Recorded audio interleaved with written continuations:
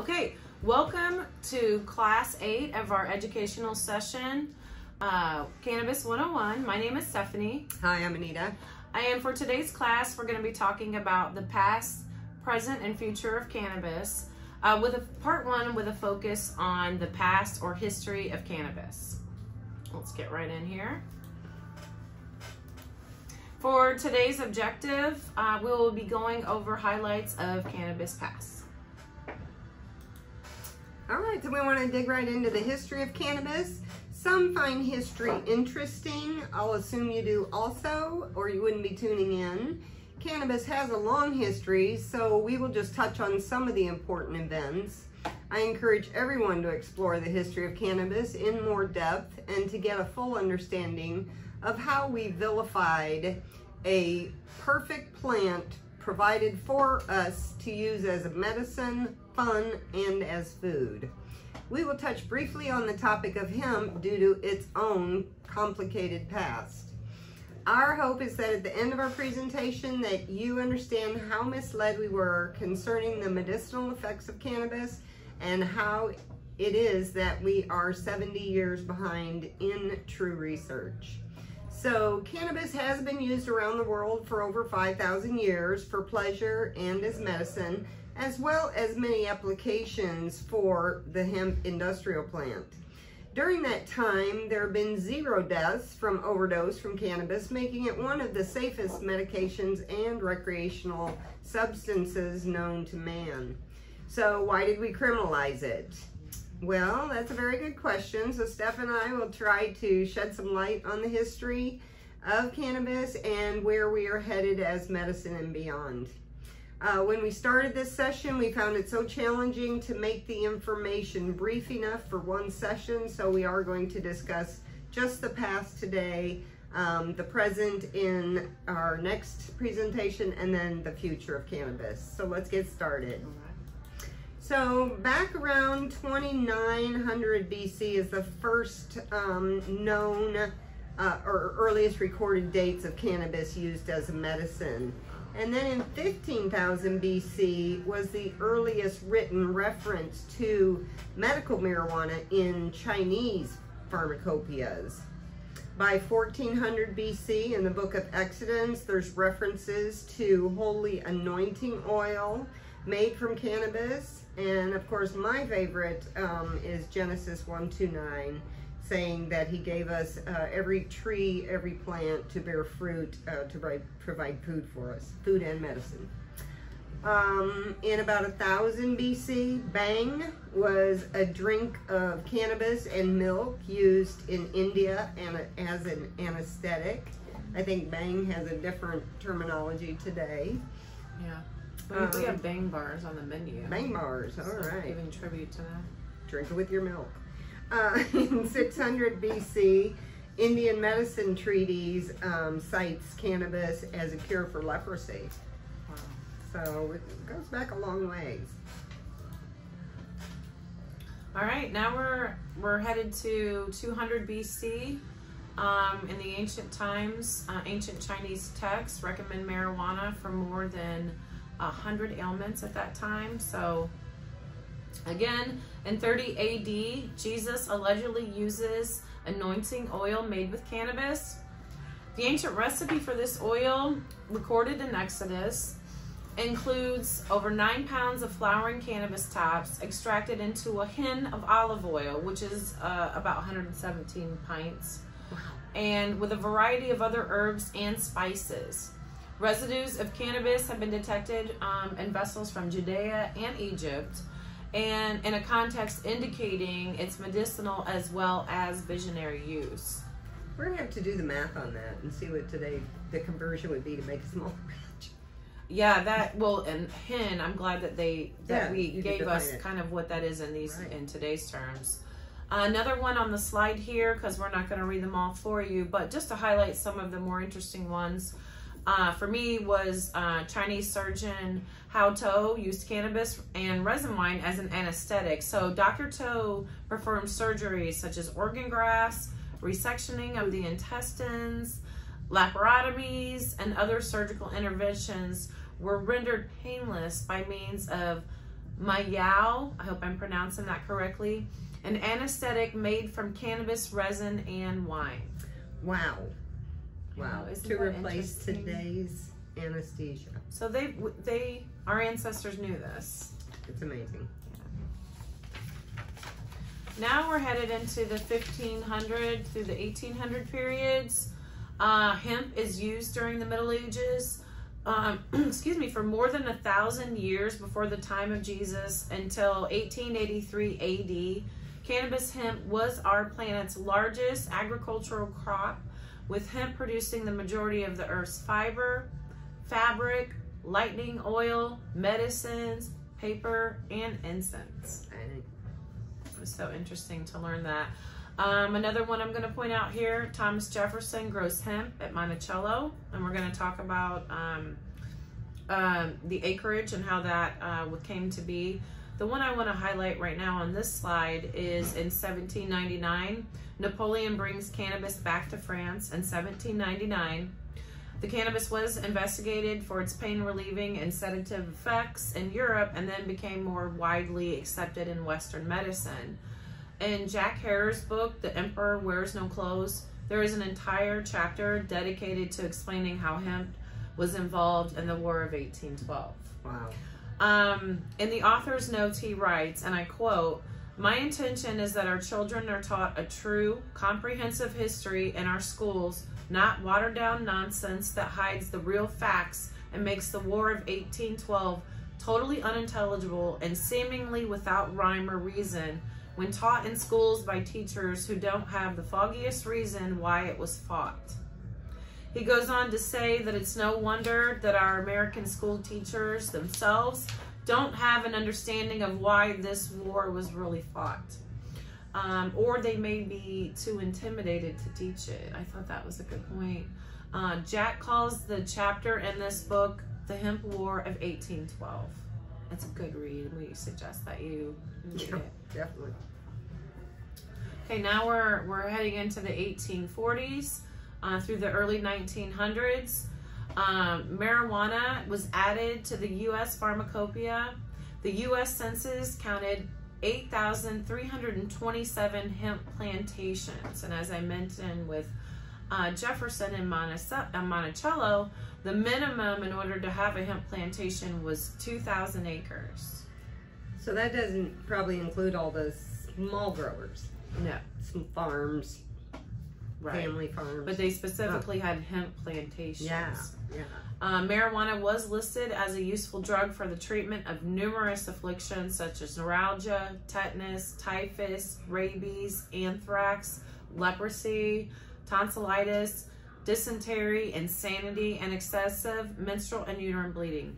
It was used as a popular medicine until the time of the Marijuana Tax Acts that was passed in 1937.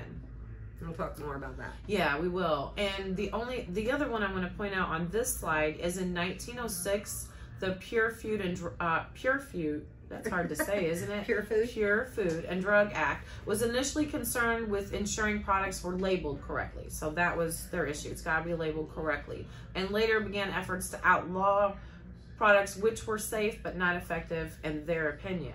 Um, this isn't related to cannabis, but I thought an interesting example uh, was the attempt to outlaw Coca Cola in 1909 because of its excessive caffeine content. Uh, caffeine had replaced cocaine as the active ingredient in Coca Cola in 1903, and it reached a settlement with the United States government to reduce the caffeine amount. Uh, in addition to caffeine, this uh, Pure Food and Drug Act mandated that drugs such as alcohol, cocaine, heroin, morphine, and canna- cannabis be accurately labeled with contents and dosage. So, cocaine, heroin, cannabis, and other drugs continued to be legally available without prescriptions as long as they were labeled correctly back then. Wow. I wanted to mention too, Jack here mentioned this in the book, but um, he said throughout history, various uh, prohibition and temperance groups succeeded in banning the uh, preferred recreational substances that others like, like alcohol, tobacco, and of course cannabis. But Abe Lincoln um, responded in 1840 to the reprehensive mentality when he said, excuse me, prohibition goes beyond the bounds of reason in that it attempts to control a man's appetite by legislation and makes crimes out of things that are not crimes. I found that very interesting. A prohibition law, he said, strikes a blow at the very principles upon which our government was founded. Abe Lincoln said that. Abe Lincoln said Oh that. gosh. I'm glad you said that. Interesting.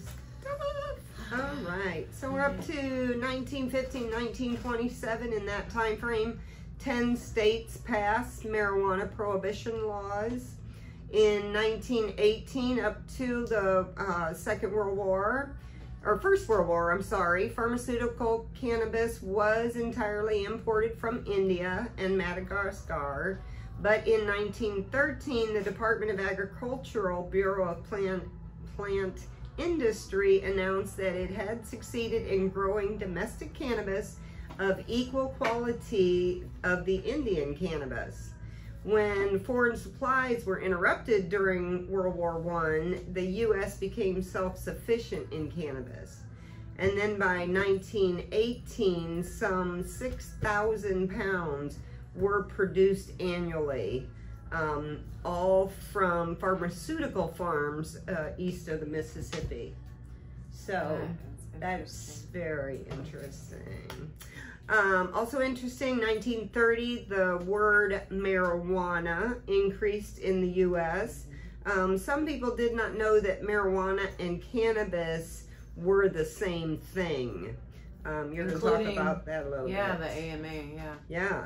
In 1930 also, as demand for marijuana-based medications accelerated, pharmaceutical terms attempted to produce to produce consistent, potent, and reliable drugs from hemp.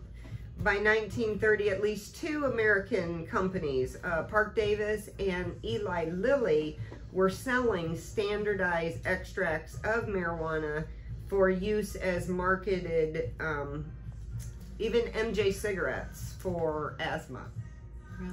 from a pharmaceutical company. Interesting. Um, it also was in 30% of our pharmacopoeia at Yeah. that time. Yeah. So we knew it was a medicine long ago. But by 1930s, it was clear that, um, are we up to my, yep. Yeah. So up to 1930, it was clear that prohibition had become a pu- public policy failure. The 18th Amendment to the U.S. Constitution had done little to curb the sale, production, and consumption of intoxicating liquors. And while some crime flourished, tax re- revenue withered. With the U.S. government stuck in the throes of the Great Depression, money trumped morals, and the federal government turned alcohol to quench its thirst for desperately needed tax money and put an estimated half a million Americans back to work. Sounds familiar today? Most people will agree that the war on drugs has been a total failure and has ruined more lives um, than cannabis ever will.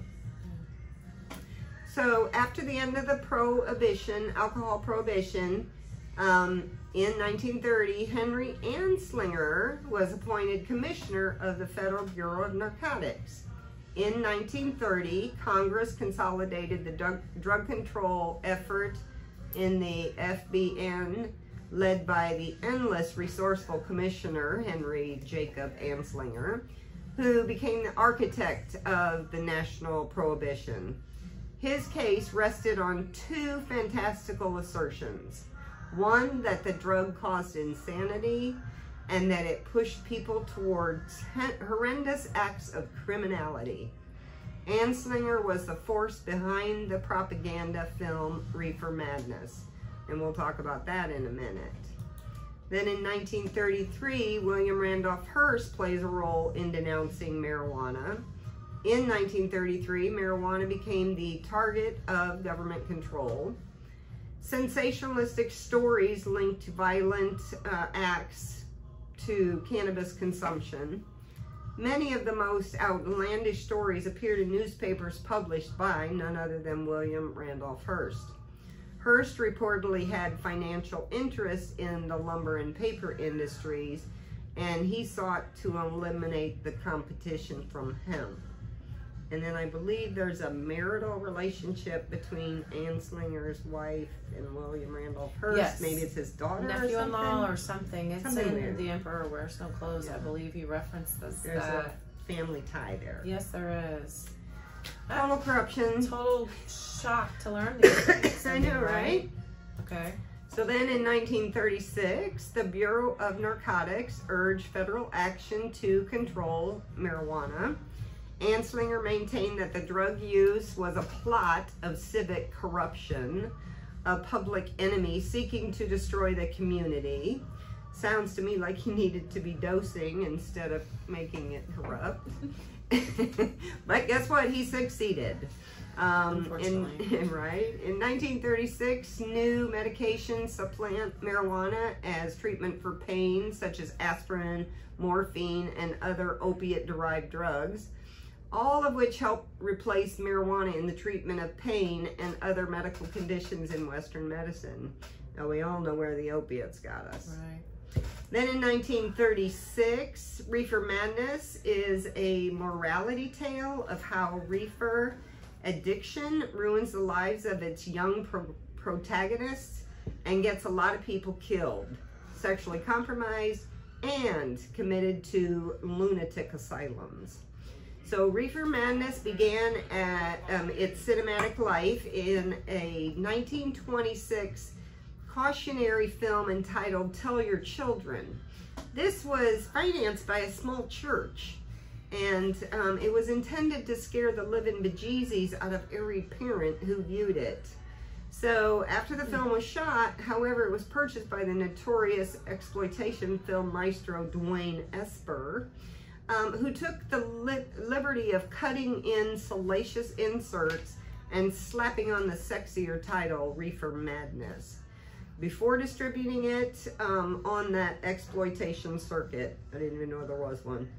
But today the film is a cult phenomenon, uh, dwarfed only by the Rocky Horror Picture Show. And Reefer Madness is still a bona fide kind of catchphrase. So it all gets better from here, Well, that explains a lot. right? It does. So 1937, the Marijuana Tax Act leads to a decline in marijuana prescriptions and virtually criminalizes cannabis um, and promoted by Anslinger. After the passage of the act, prescriptions of marijuana declined because doctors generally decided it was easier not to prescribe marijuana than to deal with the extra paperwork that was um, imposed by the new law. Or lose their license. Oh, yeah, right? Even today's doctors worry Right. about that when they need They do. They do. I know. So, 1942, marijuana um, was removed from the U.S. pharmacopoeia. Um, yet, after the Japanese invasion of the Philippines, that cut the supply of Manila hemp. So, the same year, the government distributed 400,000 pounds of hemp seeds to produce 42 tons of fiber. 42,000. 42,000, you're right, 42,000 pounds. That just, to me, is amazing that, you know, they threw them in the same package and yet, oh, but we're still gonna do the hemp part. Yeah. Makes no sense, really. Oh, it's still me. So then, Oh. um, in 1951, Oh, was no, I'm sorry. but? Yeah, the ne- next Okay. one is me. So in 1951, the Boggs Act Mhm. establishes a minimum pr- prison sentence of two to five years for simple possession. Um, the driving force behind the Boggs Act was a mistaken belief that the drug addiction was a contagious and perhaps incurable disease, um, and that addicts should be quarantined and forced to undergo treatment. That's terrible. Hello, I don't think so. All right, and then in 1956, inclusion of marijuana in the Narcotics Control Act leads to stricter penalties for marijuana. A first offense now for possession carried a minimum of two to 10 years with a fine of up to $20,000. Unreal. Then in 1964, THC, the main psychoactive component of cannabis, was first identified and synthesized by Robert, I mean Dr. Raphael Mechoulam. And in 1968, the University of Mississippi becomes the official grower of marijuana for the cover for the federal government. Okay. Okay. Thank you for that. and we'll okay. talk about that a little bit more little bit too. More yeah. Okay, now we're entering the era of the war on drugs, late 60s, early 70s.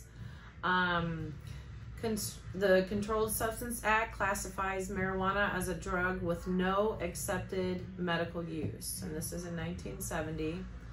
Uh, Nixon declares the war his war on drugs. And now I want to highlight in 1972 that the National Commission on Marijuana and Drug Abuse petitions the federal government to deschedule marijuana to a Schedule II drug so that doctors could legally prescribe it as they had before. Federal authorities refused to even accept the petition until mandated to do so by a U.S. Court of Appeals in 74. So two years later, they still haven't opened this uh, petition. And then they had to be ordered to properly process it again in 1982. Fast forward 14 years later, after the initial petition in 1996, the DEA finally held public hearings on this issue. Wow. Two years later, snail pace here, uh, Judge Francis Young ruled that the therapeutic use of marijuana was recognized by a respectful minority of the medical community and met the standards for other legal medications. And yet cannabis remains listed as a Schedule 1 drug with no medicinal value. But head spinning. The federal government has a patent on the cannabis plant as antioxidants as an and as a neuroprotectant. And Anita's going to talk more about that. Yeah, that one's interesting. So here on this slide, I love this smiling woman. Uh, she is one of uh, the actually. Let me let me skip ahead. The federal court rules about uh, Mr. Robert Randall's use of marijuana as a medical necessity. In 1976, a man from Washington, D.C., he was afflicted with glaucoma. He um, employed, it was a little used common law uh, called the Doctrine of Necessity to defend himself against criminal charges of marijuana cultivation. He's using this to treat his glaucoma, and his argument is that he's going to go blind if he doesn't have access to the this, and they want to arrest him for growing it. Um, and it went to uh, court, U.S. versus Randall. A federal judge ruled that Mr. Randall's use of cannabis constituted a medical necessity. Wow. Uh, criminal charges were dismissed, uh, dismissed against uh, Mr. Randall. So he then filed a petition in line with this ruling. Uh, federal agencies began supplying him with illicit FDA approved access to government supplies of medical marijuana, which made him the first American to receive cannabis for the treatment of a medical disorder from the feds. But, you know, six years previously, it was a completely different, you know, it's just really hard because, again, uh, we want right. to honor Mr. Randall and, you know, him not giving up. Now, to the woman on the slide, she was one of uh, seven patients uh, from the federal government to supply medical cannabis under the Investigational New Drug Compassionate Use Program. Um, and in 1978, as part of a lawsuit that was settled by the Department of Health and Human, Human Services, the NDA began supplying cannabis to patients uh, to patients whose physicians applied for and then received such approval from the FDA, which was a big deal back then. I mean, again, they're afraid of losing their license. They fought for their patients. And I think you have a reference to this picture that I like. Um, well, I just read once that this is the way their um, joints came. In, the in these metal tins, they were delivered to their home and that was like a two week supply. Yeah. That's a to me that seems like a lot of cannabis, but again, it was coming from University of Mississippi through the government, and so it was crappy weed, basically crappy, crappy weed. There is a win on this slide. Um, and New Mexico passes the first state law recognizing the medical value of marijuana. We didn't get very far. How about the um, 1980 The Marinol? Marinol, yeah. So there is a synthetic version of THC um, that has that it's FDA approved. yeah. Um, and we've talked about in our previous classes that a lot of patients would say that it doesn't is not as effective as the whole plant because they've isolated a synthetic version of THC. Right. Um, but again, this is the FDA recognizing the value and and allowing a synthetic version of the it. actual plant, and that's 1980, folks. All right, moving on. All right. 1981, the U.S. government, guess what? They sell that Marinol patent to Unimed, and the FDA approves it for the treatment of nausea in May of 1985. Right? All right, so in 1986, the Anti Drug Abuse Act increases penalties again for marijuana possession and dealing. Possession of 100 plants received the same penalty as the possession of 100 grams of heroin. I think one can do a lot more damage than the other.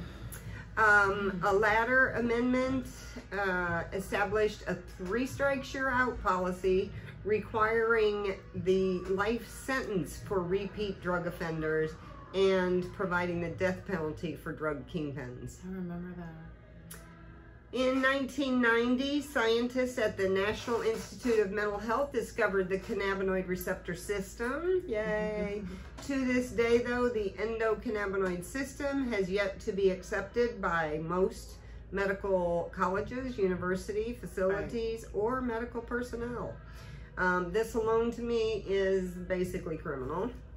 Um, in 1991, our federal government suspends the IND program that she was talking about. The compassionate IND program for medical marijuana was suspended. Guess why? Because after a number of applications surged in the response Yeah. to the AIDS epidemic. We know it can help with AIDS, so of course they suspended it. All right, next slide. Sorry, we'll move on.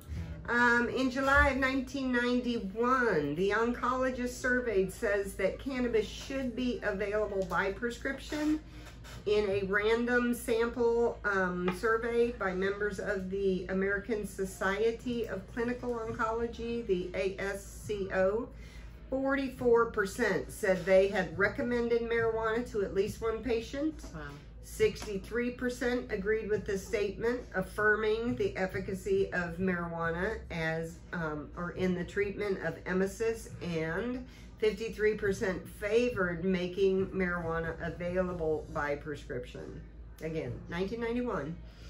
Um, in November, then, the first medical marijuana initiative did pass in San Francisco called Proposition P. Yeah.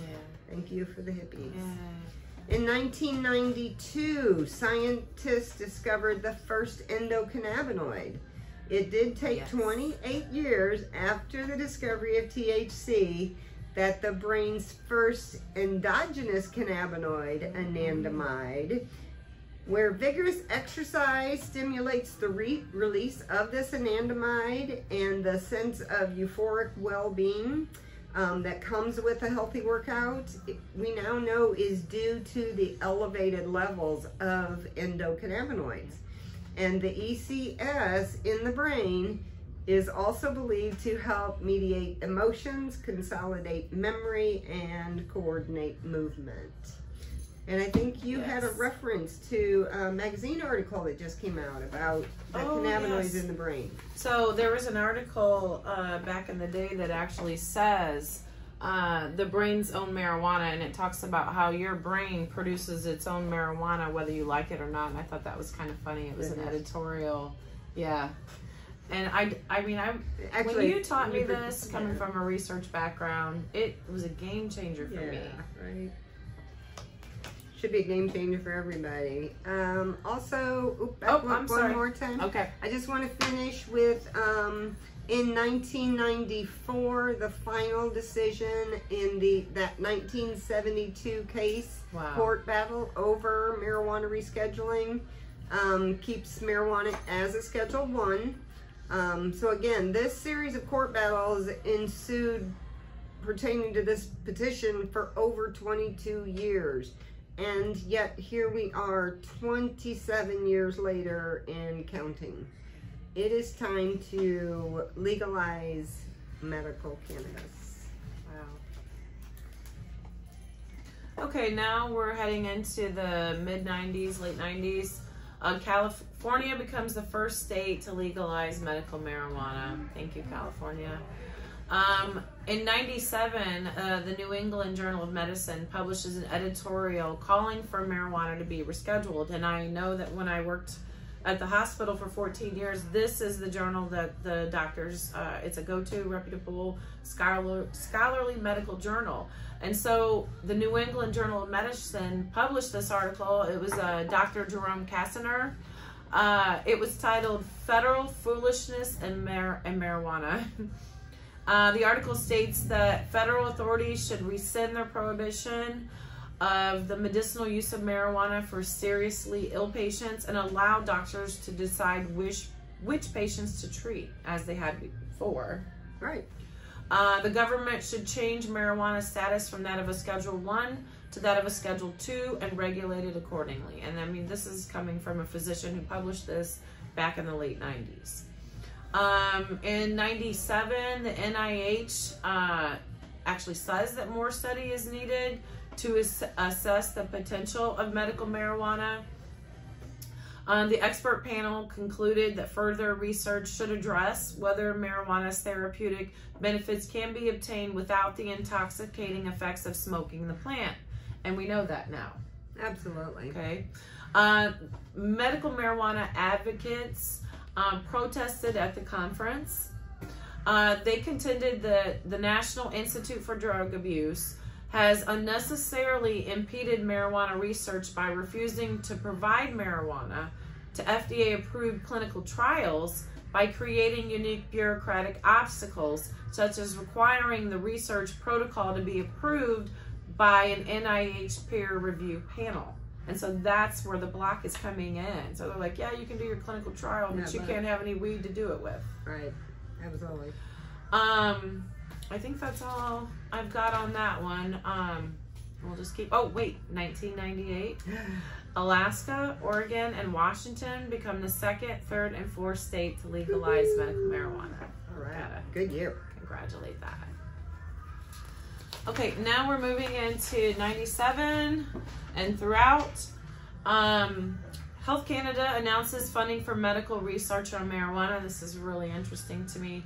Uh, the Minister of Health announces clinical trials programs and procedures from exempting from criminal prosecution Wow. patients who successfully apply to Health Canada for access to medical marijuana. So you got to remember, folks, they're providing insurance over there. Uh, so um, they shouldn't be put in jail for then uh, applying for access to this medicinal marijuana. So, in response to a number of court challenges uh, brought forth by Canadian patients who actually demonstrated and proved that they benef- benefited from the use of medicinal cannab- cannabis, but then remained vulnerable to arrest and uh, persecution as a result of its status as a controlled substance. Can you say Rick Simpson? Yeah. He was one of those. I Yes. mean, that's what that story's about. So then in 99, Canada became the second nation in the world to initiate a centralized medicinal cannabis program. So again, this was in 99 and it has evolved to the point where if I am a resident of uh, Canada and I, I am a part of their Health Canada, I can then order my medicinal marijuana straight from the cultivator online and have it paid for and delivered to my house. Someday. someday. also, just want to point out that Maine becomes the fifth state to legalize medical marijuana. Hawaii becomes the sixth state. Mm-hmm. And then we have Colorado and Nevada become seventh and eighth states to legalize medical marijuana. So this was a good slide. Absolutely. All right. Then in October of 2002, a court rules that the government cannot revoke physician license solely for recommending medical marijuana. Um, that's a victory. yeah. July of 2003, the U.S. House of Representatives rejects the amendment to stop federal raids on mar- uh, medical marijuana patients. This amendment would have forbidden the Justice Department, including the DEA, from spending any money to tear up plants, close down clubs, or arrest patients or providers. Um, the amendment unfortunately was defeated by a vote of 273 to 152.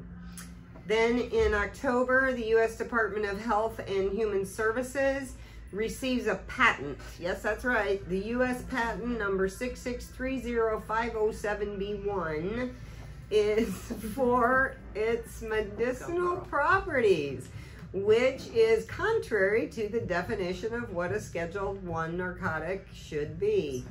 So, therapeutic use of cannabinoids as antioxidants and neuroprotectants. So, as of 2003, the U.S. government has had a patent on cannabinoids found in the cannabis plant.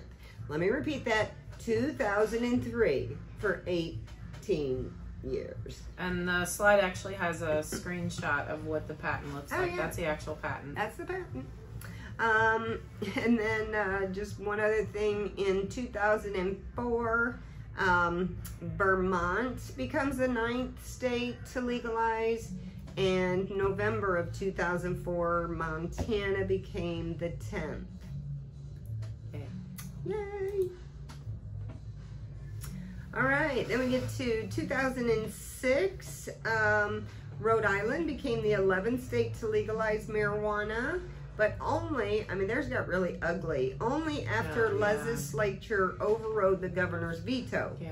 So here the Senate, or their House, first passed it at 52 to 10, and then their Senate passed it 33 to 1, but the governor vetoed the bill. He's another one of those similar to Nixon, doesn't care what the people want, he had his own belief system. Um, so then the Senate then had to override the veto by Wow. a vote of 28 to 6 and the House 59 to 13. So at that point, Wow. the finally the law finally took effect. So Thank goodness. yeah, I mean, how can one person's beliefs just throw everything out of whack? All right, so then in June of 2006, the General Assembly of the Presbyterian Church voted to support access to medical marijuana for people who have a doctor's recommendation. This is huge. This is one of the first religious groups that um, believed in it. February of 2007, um, the DEA administrative law judge recommended allowing a new source of marijuana for research. Thank you, Judge Bittner. Um, he stated that there is currently an inadequate supply of marijuana available for research purposes. So, That's right. March of 2007, Mexico became the 12th state, and then in February of 2008, the nation's second largest physicians group called for marijuana reclassification and supported non smoked forms of marijuana. The American College of Physicians, or the ACP, stated its support for the use of non smoked forms of THC, research on the benefits of mar- medical marijuana, and review of the federal scheduling of marijuana in the exemption from criminal prosecution. Here we are, 08, still battling it out. Oh, and that prompted me. I, I didn't mention the AMA. Uh, what went on with that? So the reason why prohibition went through, and it, uh, in Jack Herer's book, it'll say, you know, who consulted the AMA. Well, they changed it from you calling it cannabis to marijuana, and then killer weed from Mexico, which the AMA says, well, you changed the name on us, and that's how we didn't know to come to these meetings to help prevent that prohibition initially of, of cannabis. So thank you for saying the ACP because that made me think of the lot- AMA. Just lots of corruption. I mean, the, the whole thing. Pretty obvious, yeah, at this point. All right. Okay, Yep. That's, that means is that you? I have no idea. Where are we? That is me. September of 08. All right, so Okay. very interesting. Oh, In yeah. 2008, two pounds of cannabis. Uh, so tombs in China were actually excavated, and then they revealed this two pounds, uh, roughly, of cannabis uh, in a 27-year-old grave of a shaman. And so that was part of his belongings. Okay, and I like to think about okay, two pounds dried out over how many years? It was a lot of weed. I wouldn't want to smoke it, but It- I'm glad they found it. That was a lot of weed back then. Wow. Uh, Michigan becomes 13th state to legalize medical marijuana. Uh, February 2009, Attorney General Eric Holder released a statement uh, that on February 25th, 2009, the DEA would end its raids on state approved cannabis dispensaries.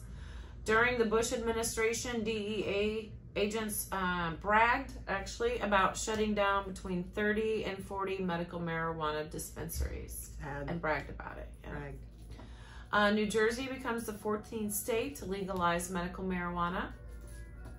Um, huge one here on this slide. Um, July 2010, the U.S. Department of uh, Veterans Affairs relaxes marijuana rules for veterans. Um, this one's close to our heart. The department released a directive stating that veterans who participate in legal state medical marijuana programs programs will no longer be disqualified from substance abuse programs, pain control programs, or other clinical programs. Um, so our beloved veterans were being denied life-saving services and access to medical cannabis, and we're really thankful for this change. Yeah, no doubt.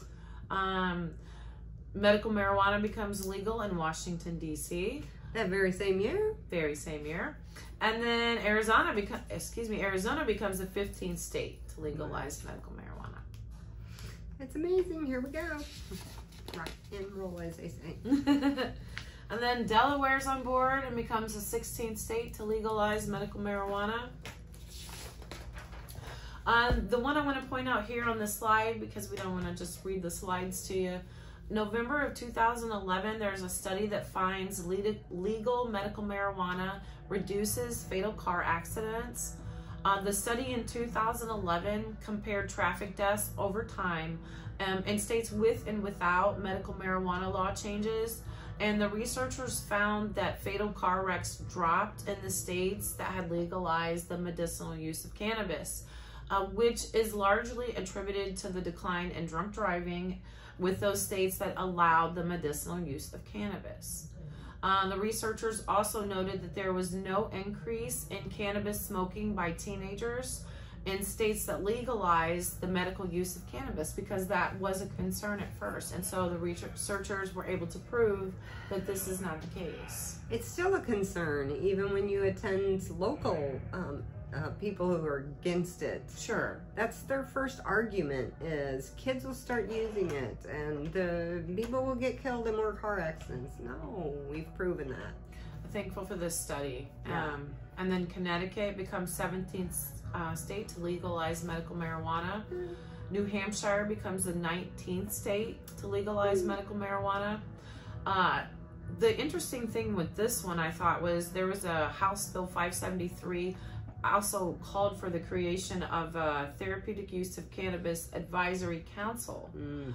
uh, that in five years, so in 2018, would have been required to issue a formal opinion on whether this program should be continued or repealed. And because the program is still ongoing, that lets me know, even though we haven't seen this report, that there has been value and they, they did, in fact, find that it should be continued because it continues today.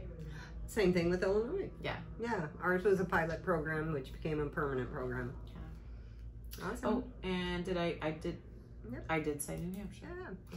August, uh, Illinois becomes the 20th state to legalize medical marijuana, and then we passed recreational just last year in 2020.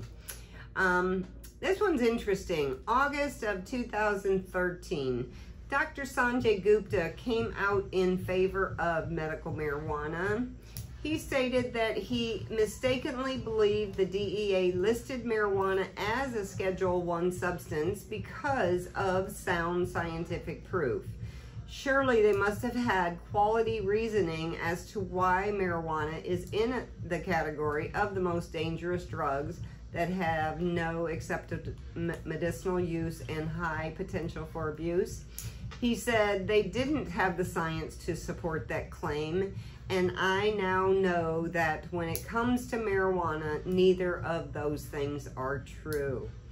It doesn't have a high potential for abuse, and there are very legitimate medical applications. He said, We've been terribly and systemically, systematically, sorry, I can't read, uh, misled for nearly 70 years in the United States. He said, I apologize for my role in that. And Aww. at one time, wasn't he going to be our uh, Surgeon General? Yeah. Like the head doc? oh my gosh. Yeah. And thank you, Sanjay. Yeah, thank you, Dr. Gupta. Um, then in August of 2013, um, it was a hot month for cannabis. Mm-hmm. Um, the Justice Department announced an update to its federal MJ enforcement policy in the light of recent state ballot initiatives that legalized, under state law, the possession of small amounts of marijuana and provided for the regulation of marijuana production, processing, and sale. This left enforcement up to the state and local jurisdictions. April of 2014, Maryland became the 21st state. May of 2014, Minnesota 22nd. July, New York becomes the 23rd state. And then in December of 2014, I'll finish up with this one. Um, the new law bans the Justice Department from using funds against medical marijuana states where it is legal. The trillion spending bill that passed that week and signed into law by President Obama on that day included a provision that blocked the Justice Department from spending any money to enforce a federal ban on growing or selling marijuana in the 23 states that had moved to legalize it for medical use. Um, that would just marked a huge shift for Congress for which for many years has sided with federal prosecutors in their battle with states over the um, liberalization of drug laws. But um, Representative Dana Ro, uh, Ro, Ro, Rohrabacher? You got it. I'm sure I don't. Uh, a Republican from California, he was one of the authors of the medical use provision. Um, and he made the case to his colleagues on the grounds that many conservatives can understand state states' rights. Right. So in a statement, he said his amendment would force the federal government to respect state sovereignty on the question of medical marijuana. So, thank you. Yeah, I think it's. Uh, thank you, Laura Bucker. Forgive us for mispronouncing. Bucker? Laura Bucker. Yeah, I do apologize for that. All right. Then in um, next slide, May of or was it May 2015, the governor of Puerto Rico legalized medical marijuana. In June of 2015, the government um, removed obstacles to marijuana research. Um, it was announced that it would take effect, immediate effect, and a, a long-standing bureaucratic obstacle, privately funded medical marijuana research was removed. The Public Health Service review process had been a subject of particular discernation among researchers and advocates. That step was not required to study any other drug, including cocaine and heroin. Right. So the PHS review was nearly identical to the one performed by the FDA, and sometimes it could take months. So the announcement of the elimination of the PHS review of non-federally funded research protocols involving marijuana was a huge win for yes. cannabis. Then in April of 2016, the DEA considers moving marijuana to a less restrictive schedule. Um, I feel like we've heard this all Yeah. before. Um, but then on August 11th of that same year, the DEA re- declined to reschedule it, but they did help foster research by expanding the number of DEA registered marijuana manufacturers. Um, this change would provide researchers with more varied and robust supplies of quality marijuana. Right. And this change did kind of illustrate the DEA's commitment to working together with the DSA and the NIDA to facilitate research concerning marijuana and its components. So um, I guess we give them a check Yeah. mark. Mhm. In June, Ohio became the 25th state, not listed here. Um, Arkansas became the 26th, Florida the 27th, and North Dakota the 28th. West Virginia became the 29th state, and in 2017, June, Mexico legalized Wow. medical uh, marijuana. Now we get to 2018. Um, enter the U.S. Surgeon, I mean, the U.S. General Attorney General Jeff Sessions. Um, he rescinded that policy by Obama's Justice Department that had generally barred federal law enforcement officials from interfering with marijuana states in the states where the drug was legal. Sessions policy would let U.S. attorneys across the country decide what kinds of federal resources to devote to marijuana enforcement based on what they had see had what they saw as pri- priorities in their districts. So officials at that time could not mm. say what the ultimate impact would be on the legal industry or whether it would lead to more cannabis convictions and prosecutions, nor was it clear how the memo might affect the um, states where marijuana is legal for Yeah. medical purposes. I remember those days. You didn't know Scary. if, uh, you know, you would go to work and somebody was going to come in and raided. shut you down and throw you in prison like you you'd seen jail years ago. Uh, nerve wracking times. So then in June of 2018, um, this one I gotta tell you gets my goat about as much as the US patent, but the FDA approved its first marijuana based drug. The US FDA approved Epidiolex, a CBD oral solution for the treatment of seizures associated with two rare and severe forms of epilepsy, Lennox-Gastaut syndrome and Dravet syndrome, in patients two years of age and older. This is the first FDA approved drug that contains a purified drug substance derived from marijuana. Don't misunderstand me. I am so glad it's helping children suffering from those conditions. But how can our government still keep cannabis as a schedule 1 drug knowing that they have what they've known for all these years?